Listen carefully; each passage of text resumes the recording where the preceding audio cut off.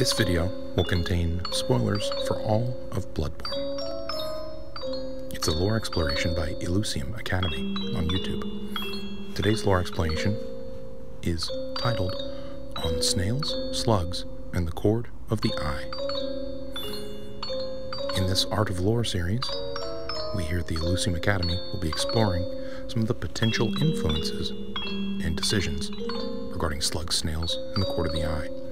The first interesting thing to note is that snails, like humans, can be right or left handed. The swirl etched into a snail can reveal a lot, right down to their genetic makeup. In fact, snails can't be ambidextrous because they only have one appendage. Interestingly, what determines whether or not a snail is left or right handed, the swirl of their shell, is a metamorphosis they undergo in the trochophore phase. This metamorphosis sees them undergo torsion. Torsion can happen either clockwise or counterclockwise, and this informs the whorl of the shell of the snail.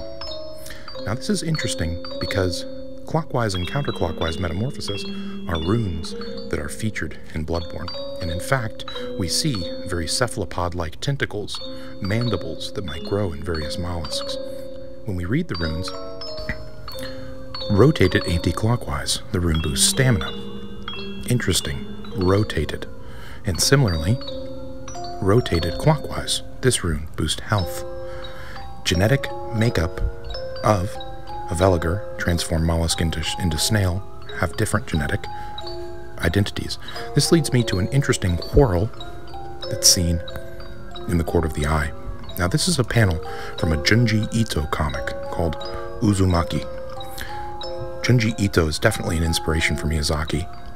And in this one, we see a woman terrified of spirals looking at a picture of a cochlea on a doctor's wall and seeing that the cochlea itself is a spiral.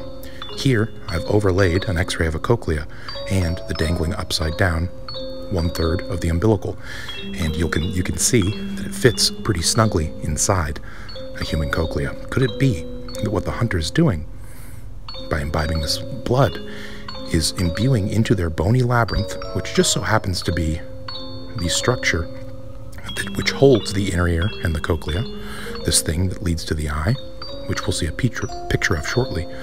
Could it be that we are housing infant great ones inside of our own heads to be birthed when our blood is potent enough when in presence of the right materials?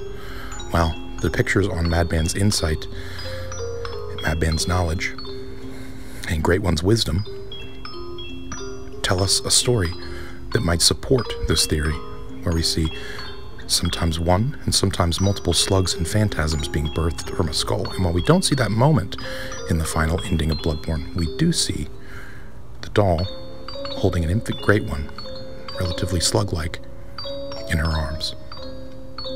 So, these have been reflections on snails, slugs, and the cord of the eye, combining Junji Ito, a known inspiration for Miyazaki, along with several biological and specific terms found in the runes, to snails and slugs, to talk about what exactly is going on in Bloodborne. If you liked, please subscribe to Elucium Academy, and give the video a like.